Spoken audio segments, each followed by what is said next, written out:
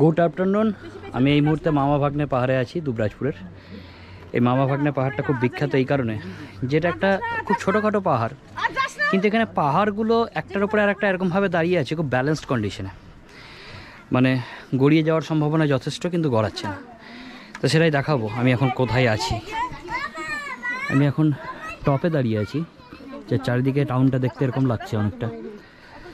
একদম এই সাইড থেকে দেখতে বুঝতেই পারছেন যে কতটা একদম টপ এটা।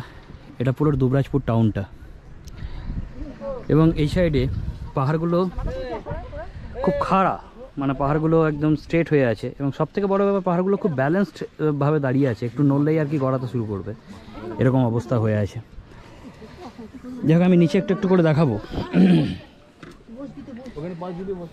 এখানটা মা পাপি হুম আমি জানি। জয় মা। এখানে এখানে মামা, কোনটা মামা? এটা মামা আর এটা ভাগ্নে আচ্ছা। এদের কথা অনুযায়ী এইটা হচ্ছে মামা আর এটা হচ্ছে ভাগ্নে। এর মধ্যে দেখুন, এখানটায় পাথর দুটোর মধ্যে এটা কিন্তু হ্যাঙ্গিং কন্ডিশনে আছে। হ্যাঁ? এবং এই হ্যাঙ্গিং কন্ডিশনে থাকার জন্য এটা পুরো ব্যালেন্স হয়েতে আছে। এদিকটা একটা গুহার মতো আছে। মানে চারিদিকটা দেখতে খুব অদ্ভুত টাইপের এখানে। এদিকটাতেও শুধু পাহাড় আর পাথর আর পাথর। এদিকটাও একদম পাথর পাথর। এটা পুরো ব্যালেন্সড কন্ডিশনে আছে। দেখে পেয়েছে এটা ঘর না এটা গুহা। হুম। জায়গা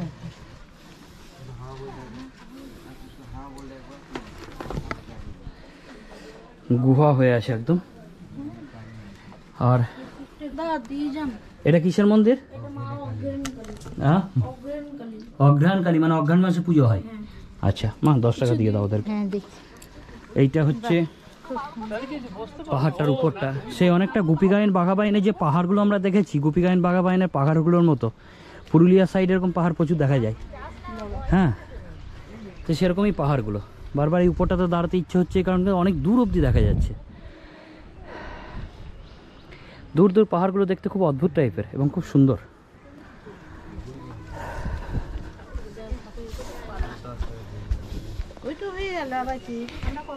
এবার আমি একটু একটু করে দেখাবো যে এই রাস্তাটা আমি যখন এসেছিলাম, তখন খুব সুন্দর সুন্দর সিন দেখেছিলাম। পাশে আসে পাহাড়গুলো বা পাথরগুলোকে খুব ভালো লেগেছিল দেখে। সেগুলোও দেখাবো একটু একটু করে। দাঁড়াও, মায়ের একটা ফটো তুলতে হবে। এবার আমি পুরো পাহাড়ের যে জায়গাগুলো সেগুলোকে এক্সপ্লোর করব এখান থেকে। এখান থেকে নিচে নামছি, পুরোটাই দেখালাম। মা ভাগ্নেটা কেমন লাগছে দেখে। এবার ওই উপরটা থেকে নেমে আসলে এরকম পুরো অঞ্চলটাই পাথরময় অঞ্চল একটা। মানে দেখে বোঝা যাবে যে চারিদিকটা পাথর পাথর আছে একদম। এই দিকটাও বড় বড় পাথর। একটু ধরো মা এটা। পুরো চারিদিকটা পাথর পাথর একদম। এবং যে রাস্তাটা ধরে এলাম আমরা আসার সময়, আমি আসার সময় ভিডিও করিনি, কারণ আমি আগে দেখলাম যে কোনগুলো দেখানোর মতো জায়গা আছে। সেগুলো আমি আগে তখন ফলো করলাম। আমি তো চটি পড়লাম না। চটিটা তো পড়ে এসেছিলাম এখানে। দেখুন ভিডিও করার চক্করে আমি এখানে চটিটা রেখেছিলাম, সেটা ভুলে গেছি। এই উপরটা পাহাড়টা এরকম দেখতে লাগে। জয় হনুমান।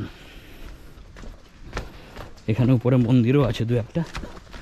এইটা বেশ সুন্দর। পাহাড় পাহাড়, পাথর পাথর অঞ্চল। এটা দুবরাজপুর প্রপার দুবরাজপুর থেকে একটু বেরিয়ে এসেই, একদম খুব কাছেই। খুব ঘোরার জায়গাটা খুব সুন্দর বিকেলের দিকে। বলা যেতে পারে। দুই দিককার ভিউটাও খুব সুন্দর। দারুণ একটা ভিউ।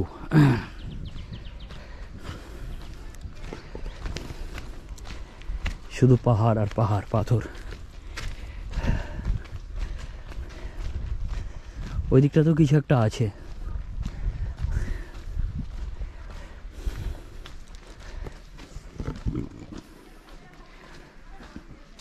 জানি না এই দিকটাতে কি আছে।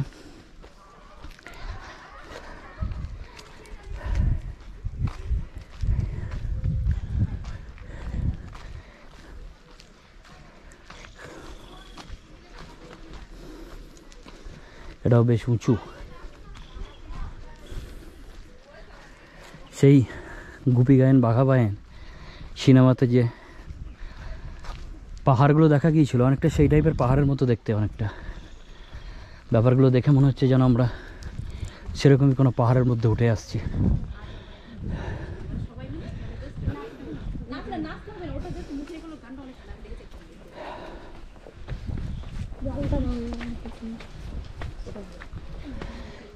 এটাও একটা পিক পয়েন্ট যেখানটায় কোনো একটা মন্দির আছে, ঘুরতে গিয়ে যথেষ্ট অক্সিজেনের অভাব পড়ছে, কারণ খুব উঁচু পয়েন্টগুলো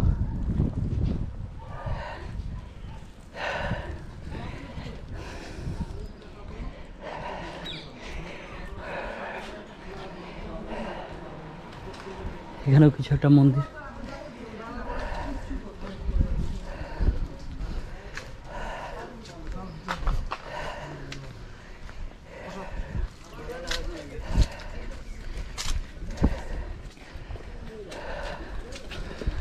এটা কীরকম এটা কীরকম পড়ে যাবে না তো?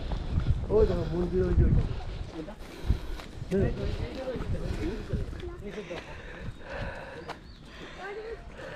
আরে এগুলা যেটা যেভাবে এসে স্টে হয়ে গেছে না। এই মালটা কিন্তু এইটার সাথে সংযোগ আছে বাংলাতে কোনো ওনাকে যেন উচ্চতে পেয়েছে মনে হয়।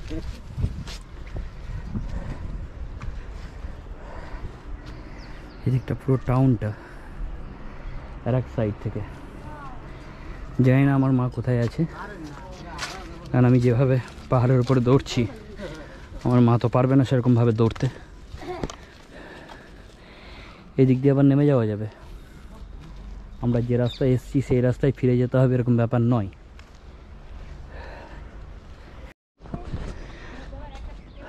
এবার আমার মাকে খুঁজে পাওয়া গেছে। আমার মা আসছিল আমার পিছনেই। আমার মা আসতে পেরেছে, অনেকটা উঠে উঠে। মানে পাহাড়গুলো বেশ খাড়া। এগুলো বেশি দূরে নয় বাড়ি থেকে, খুব কাছেই আমাদের। তাও কোনো দিন দেখিনি এখনও পর্যন্ত।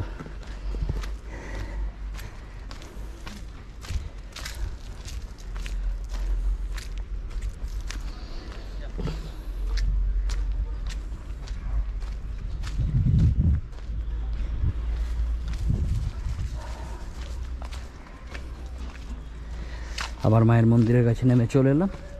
এই ঠিক পাহাড়ের নিচে একটা মন্দির আছে। ওটা কিসের মন্দির আমাকে জানতে হবে। সেটাও জেনে নিচ্ছি এখনই। আমরা এসেছি যখন এই দিক দিয়ে এসেছিলাম, যে এই দিক দিয়ে এসে ওই দিক দিয়ে ঢুকেছিলাম। ওই দিক দিয়ে ঢুকেও এরকমই পাহাড়ের রাস্তা, পাহাড়ময় রাস্তা। ছোট ছোট টিলা, পর্বতের মতো, ছোট ছোট পাহাড়ের মতো অনেক ছিল। সেগুলো দিয়ে আমরা এন্ট্রি হয়েছিলাম।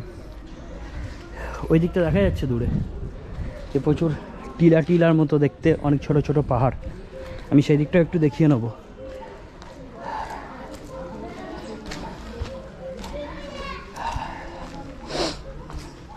আমরা যে রাস্তা দিয়ে গিয়েছিলাম, আসলে সেই রাস্তা ভিডিও করতে গেলে অনেক বড় হয়ে যেত ভিডিও। এবং রাস্তাগুলো মোটামুটিভাবে একই টাইপের বলে আমি আর বিশেষ ওটা করিনি। এই যে, এই রাস্তাটা আমরা গিয়েছিলাম যাওয়ার সময়। রাস্তাটা একদম সেই জনমানব শূন্য এবং পাহাড় পাহাড়ময় যাই হোক, এখন আমি মেইন যেটা দেখব সেটা হচ্ছে যে এখানে যে মন্দিরটা আছে, সেই মন্দিরটা কিসের মন্দির? হ্যাঁ block Somen sir Somen sir. এটা একটা মন্দির। এটা কিসের মন্দির সেটা আগে জানা দরকার। এটা কিসের মন্দির? হ্যাঁ?